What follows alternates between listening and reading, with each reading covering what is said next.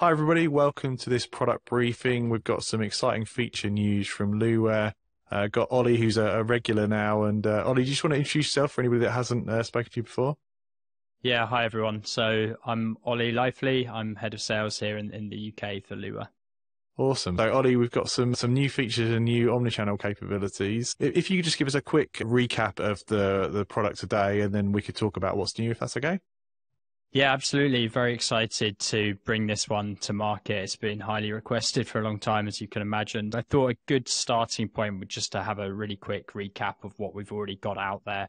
So we have advanced and enterprise routing. So these are our informal contact center modules. And we've got that quite unique pricing model here with a license per service. So that essentially means you can license the group of users rather li- than licensing every individual user. With those, we get some really nice live and historical dashboards. We get some really nice workflow editing tools so we can add announcements, IVRs, we can do some parameter routing.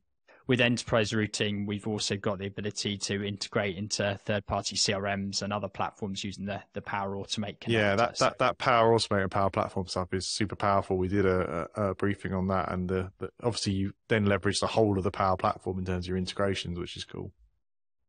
Yeah, exactly. So that yeah, that, that's a big kind of selling point for for enterprise routing. And then for those more traditional, more formal contact centers, we've got our per per user per month um, contact center license. So that includes your more traditional features like skills routing, uh, listening into more flexible and uh, dynamic dashboards, parameter routing. Yeah, we've got that more traditional, fully fledged contact center license. And up to this stage, that's been for voice routing. But what we've done is we've added a omni-channel license into that. So across any of these modules, you can add our attendant console. So that's our reception and operator switchboard module. You can add Interact, which has been around for a while now. So that's our video product. So that allows you to route video sessions and screen share sessions from a website into an enterprise routing or contact center. Uh, but the new one, which is what we're here to talk about today, is an add-on for the contact center which will allow you to route omni-channel interactions. Yeah, super exciting. And from this diagram, you, you, can pick any of these add-ons on top of the contact center. So I don't have to have Interact to get omnichannel or omnichannel to get Interact. Is that right? Yeah, that, that, that's exactly it. We obviously want to keep the licensing model as, as straightforward as possible, but we also want to couple that with making it as flexible and adaptable as, as possible. So Interact now is, is solely a, a video product. So uh, for those use cases where you want to uh, route a video call from a website directly to a video session in Teams, so keeping that experience in Teams. Uh, you can also then screen share and use the chat once you're connected in video. Um, but Omnichannel will allow you to take web chat, it will allow you to take email, and it will allow you to take other external tasks and route those via the contact center queues that, that you've already got set up. That's really exciting. I'm uh, excited to see see how the web chat and email. You, are going to demo it for us today? Yeah, I, I, think we'll we'll take a look at email routing to today. I, th- I think that gives it a, a, really good taster for, for what's uh, what's available there. So yeah, we'll take a look at that in a live demo. I think uh, live demos are always much more interesting than than a slideshow. So yeah, yeah, we'll jump into that. So let's let's ask the question everybody wants to know: pricing, Oli. What's the what's the story here? Again, as with our other modules, we like to build an economies of scale into our pricing structure. So we have different volume bandings. So if you have uh, 25 to 50 or 25 to 49 licenses, for example, then it's 77 euros uh, for the voice license. And then you can add contact center on per user uh, for 15 euros a month. And then if you have slightly more agents, then you fit into that 100 to 199 user banding then it's 68 for the voice license, and then you can add contact center on for 11 euros a month. So you don't have to add the contact, the omni-channel uh, license on to everyone. You can pick and choose which teams need it. Typically, we find that maybe you don't need as many users for things like email or web chat as you do for voice. So you can select teams that have that omni-channel add-on.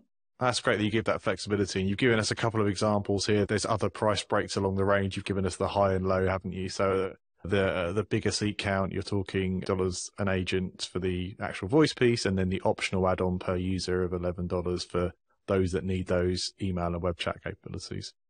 Yeah, exactly. We put it in euros here, but yeah, we also have it in oh. dollars uh, and pounds and Swiss francs. So awesome. Cool. So we can see here, Oli, the uh, the Luware platform. So uh, take us through how best you want to explain it. Uh, we've got an email up here. Yeah, absolutely. So we've talked about email, web chat, and external tasks. So I think today we'll show this as an email coming in and being routed uh, via Nimbus. I've got an email address here which is set up assigned to a Lua queue. I'm just going to send this in as a test from my own personal email account. Yeah, so and this is email, right? So it could be externally facing, it could be support at, or it could be internally facing. And I see you've mapped an email through for the, the regular domain. So it's, it's forwarding through your Exchange Online to the queue. So to the user, it looks like a regular support at luware.com type email. Yeah, exactly. Any email address that you have in Exchange, we, we can link to, to email. So a couple of things have happened. First of all, I'm showing you our dashboard here. So this is the same live dashboard that we have available in Enterprise Routing and Contact Center. I can see that task now has come into the queue. So we've got the source of that email. We, we know obviously who the sender is. It's in the queue at the moment. Yeah. We can also see which users we have available to handle those. So at the moment, it's only myself available to, to handle those interactions. And as that email is coming in, my Nimbus assistant is popping up there as a user to tell me that, that email is coming in. So I can accept or decline that there. A bit like a call, I can accept or decline it and it's going to pop up wherever I am on my dashboard. So there's no chance of me missing the fact that I've been sent an email.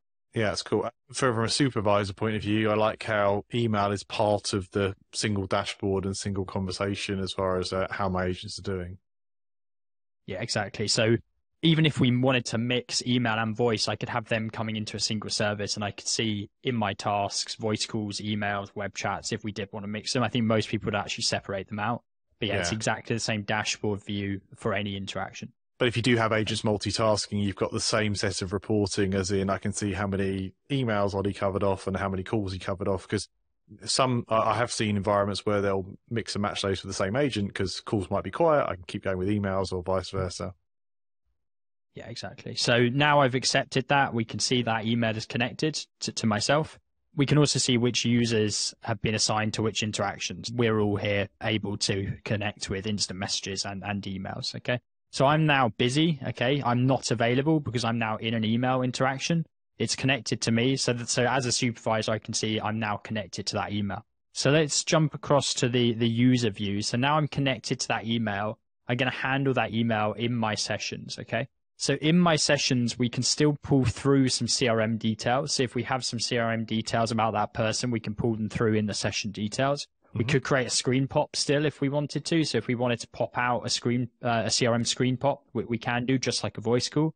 Now I'm connected to that email. I can see this email now in my session. So I can handle it in here. I can also full screen it here. So now I can just respond to this email as I would any other email. And it's a very similar layout um, to responding in Outlook. So I've got my formatting here. I can add people here. I can yeah. add priorities, and I can send that um, here. So I can send something back. So I say thanks for your email, and then we can just send that across.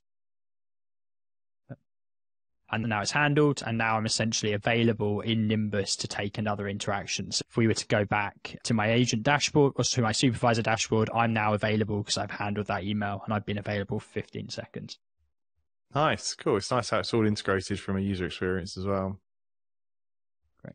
Let's take a look at the admin side of things and how we actually set up um, the the workflow. Just like a, a, voice workflow, we can use our workflow editing tool to set up an, an email workflow. We also have a couple of other options here in our workflows now. We have IM, so if we wanted to integrate web chats, uh, we can build a workflow with IM, and we also have external task routing. Yeah. What's the external task routing? Is that third party ticketing systems or how's that work?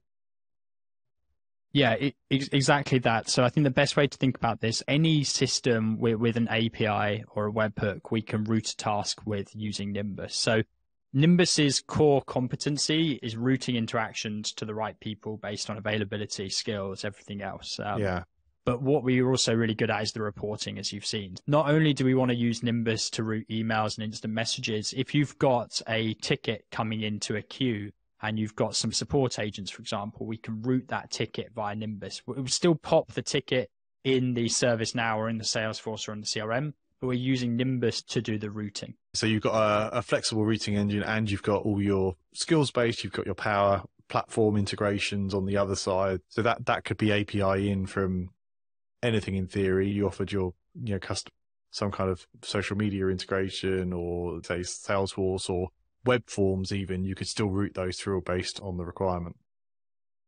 Yeah, exactly. Any task that you want to route to an agent, we, we can do with external task routing. That might be SMS, social media, that might be ticketing, that might be emails, for example. You might want to keep your all your emails in your CRM, but then just route those emails out using external yeah. tasks. Yeah, so you yeah, that's cool. Nice. Um, so let's take a look at the email workflow here, but all of these have very similar um, kind of options once we get into the workflow. So We'll give it a name and we will assign it to an organization unit to make sure the access and control is, is all um, aligned with, with our RBAC policy. And now we're just in a blank workflow. In the top right here, we have various activities, and now we can start building the desired uh, flow for that email. And as I said, this is similar for voice, similar for IM, and it's similar for external tasks. What a lot of our customers would probably like to start with is check opening hours, so we can do some time of day routing. We can make different routing decisions on that email, whether we're open or closed or in some sort of special routing period. So when we're open, let's say we actually want to check the availability of users. So the first thing we want to do when we're open is actually make sure that there's somebody available. If there's nobody available, then maybe actually at that point we send a reply and we can design our reply down here and say there's no agents available. Please expect to reply in the next week or however long we want to yeah that's cool. So you can do the auto replies as well do the auto replies we can even add parameters into there so we can reply um, to, with a system parameter we can actually reply with their name okay so we can take their name out of their email and ah, put that cool. into the automatic reply um, or even taking that a step further, if we knew, for example, that they had an existing order from our CRM, we could say, okay, thanks for your email. If you're asking about order X, it's going to be delivered on this date. So we can take parameters from somewhere else and put those into the reply. Nice.